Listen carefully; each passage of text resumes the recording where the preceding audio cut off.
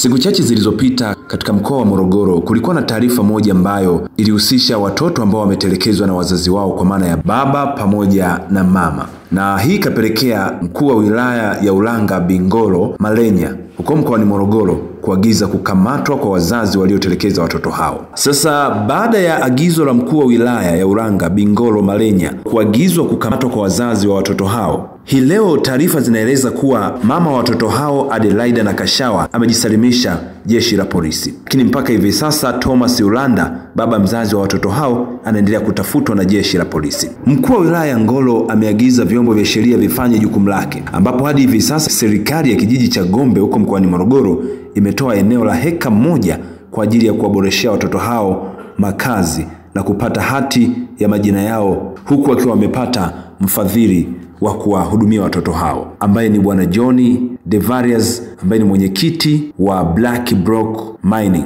yeye akiwa ameridhia kuwajengea watoto nyumba itakayogharimu zaidi ya milioni kumi. Na mahitaji mengine ya msingi kwa mabinti hao watatu yataendelea kutolewa kulingana na mahitaji. Mkuu wa wilaya ya Uranga anaendelea kuratibu mradi wa msichana wetu Our Girl. Ili kupunguza changamoto za mtoto wa kike wilayani Ulanga, na pia tarehe nne mwezi wa nane elfu mbili na ishirini na mbili kutakuwa na kikao cha bodi ya mradi wa Our Girl ambao DC Ngolo ndiye mwenyekiti na atapokea taarifa ya kaya maskini zenye watoto wa kike na kuendelea kuzitafutia ufumbuzi. Sasa leo tutamsikiliza mama mzazi wa watoto hawa ambao inadaiwa aliwatelekeza na kujisalimisha mwenyewe katika kituo cha polisi, lakini kwanza tutamsikiliza mtoto huyu ambaye yuko kidato cha nne na amekuwa akiwalea wadogo zake yeye mwenyewe binafsi, huku baba na mama wakiwa wamekimbilia kusikojulikana. Kwa majina naitwa Elmeida Thomas Ulanda, na umri wa miaka kumi na nane na wadogo zangu watatu ambao nawalea kwa sasa. Mamangu aliondoka mara ya kwanza kipindi ilikuwa darasa sita elfu mbili na kumi na saba aliondoka kwa baba na sisi tulibaki kwa baba. Tulikaa, alirudi elfu mbili na kumi na nane mwezi wa saba. Tulikaa na mama mpaka mwezi wa kumi na moja elfu mbili na ishirini na moja. Mama akaondoka na baba kukaa nyumbani, wameondoka wote wawili, wametuacha nyumbani. Na mimi sasa hivi ni mwanafunzi wa form 4 na mdogo wangu mwingine darasa saba, mwingine darasa ya pili, na ambao mimi nikienda shuleni wanabaki peke yao, chakula kupata mpaka kwa majirani. Nashukuru sana mkuu wa wilaya kwa kutuletea mdau ambaye anatusaidia. Sema asante. Twa Adelaida Daudi na Gashara, Niliolewa na mume Thomas Ulanda, nimeishi kijiji cha Gombe. Nilitoka kwa mume wangu mwaka elfu mbili na kumi na saba. Mwanangu nilimwacha la sita, nilitoka nikakaa nyumbani wiki mbili. Nilipotoka hapa nikaenda Dar es Salaam. Niliporudi mwaka elfu mbili na kumi na nane nikawachukua wanangu nikakaa nao elfu mbili na kumi na nane mpaka elfu mbili na ishirini na moja nikapata na habari za mgodini nikawacha wanangu nikaenda kwa wakabizi kwa baba yao. Watoto wao mimi naenda kujitafutia. Nilipomkabidhi na mimi nikaamua kutoka mpaka mgodini Ukande. Nilipokaa kule wanangu niliwatunza, niliwahudumia vizuri, mawasiliano yalikuwa yapo. Baada ya hapo nikahamia Chipa na kule mawasiliano yalikuwa madogo mpaka nianze. Ile nikipata na wapa niwarushia nawasiliana nao niliwapa kuanzia shilingi elfu kumi elfu tano nikiwa naye. Nikipata niuze unga napata elfu kumi na wapa nikipata elfu tano huko narusha elfu tano na kule elfu tano mara mwingine nimepangishia mwa mara mwisho nilirudi mwezi wa tano nyumbani Gombe kwenda kuangalia nyumbani kibanda chake kimedondoka nikamwambia wanangu subiri sasa mimi nikajitafute nirudi ili nijenge banda niwachukue tukae. Babeni nikahamia wapi? Babe tukahamia kwa mama mdogo. Kasema hai. Baada ya hapa nikamuita mwenzangu, bwana eh, mtoto huyu yupo form 4 tumwingize kwenye bweni tusipate shida shida ya chumba siyo nini chakula tunampa mateso. Majibu aliyomjibu kaniambia mimi sina hela. Nikachana naye nikatoa elfu kumi nikamwambia mwanangu, nenda kalipe chumba uweze kuingiza bweni peke yangu, mimi siwezi.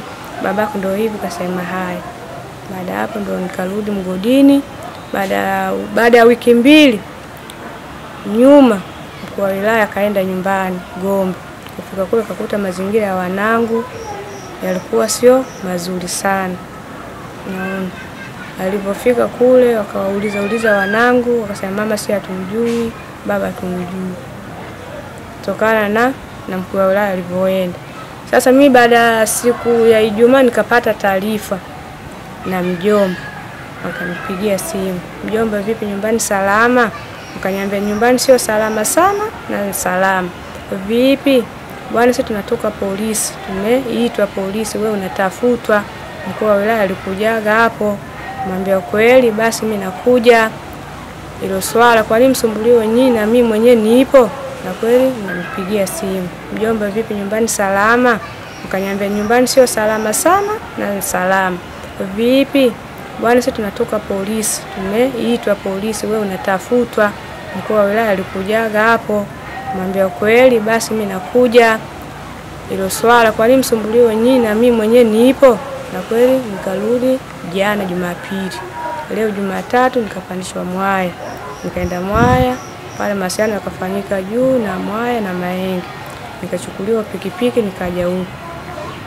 Pale niliporudi kuwaona wanangu, si huduma sio nzuri, kwa sababu na mimi banda la kukaa sina, nyumba nimeikuta imebomoka banda langu, kwa ngoja nikaitafute baada ya mwezi huu wa sita nirudi ili nijenge banda langu nikae na wanangu. Sehemu ya kufikia nilikuwa sina. Sasa hivi nina mpango wa kurudi nyumbani nikalee wanangu ili nikajenge banda langu nikae na familia yangu.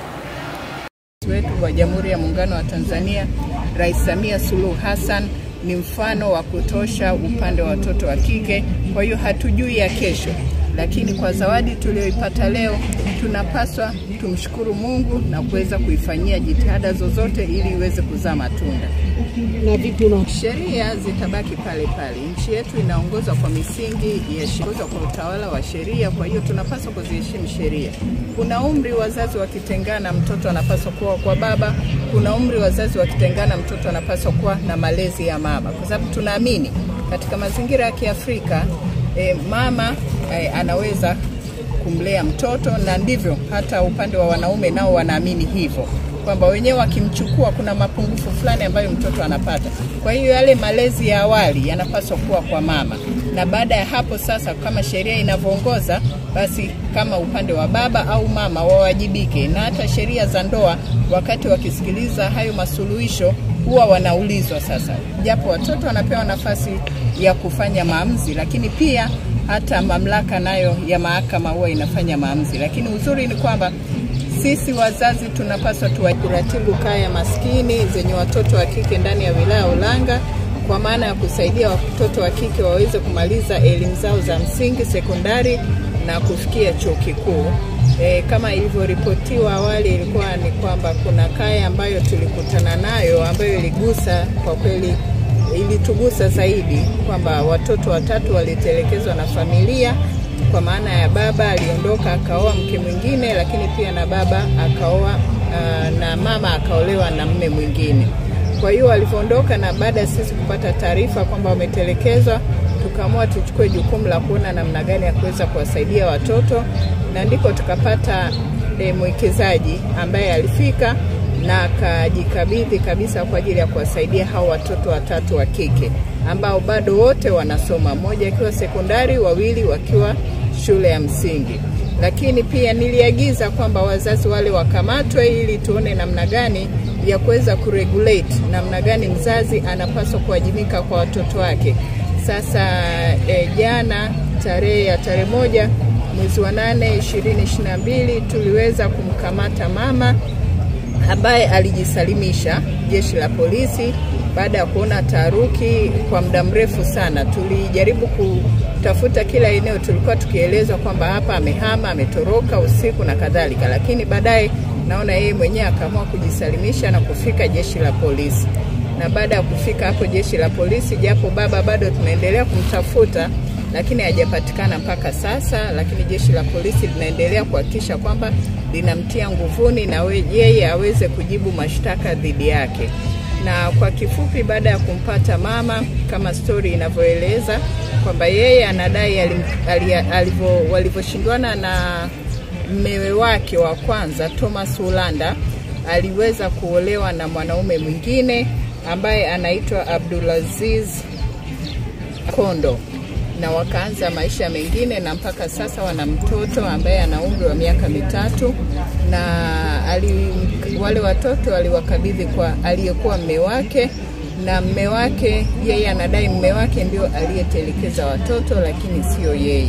Lakini hata maelezo tu ya anavyojieleza ni kwamba yeye yuko tayari kurudi kwa watoto ili kuweza kuwalea watoto, lakini kwa kifupi wale watoto tuliwakuta kwenye eneo la kiwanja cha baba yao, na tukaona yafaa sasa kuwatafutia eneo lingine kwa ajili ya kupata makazi bora, na mpaka sasa e, tumeshapata eneo e, la ukubwa wa hekari moja.